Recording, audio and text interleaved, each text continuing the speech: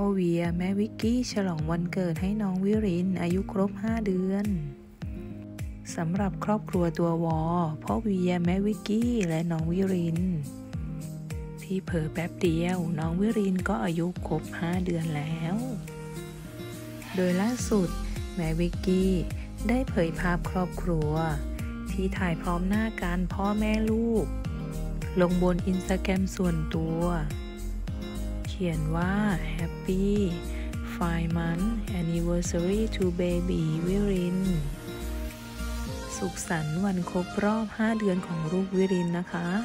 ป๊ามี้และทุกคนในครอบครัวรักที่สุดในโลก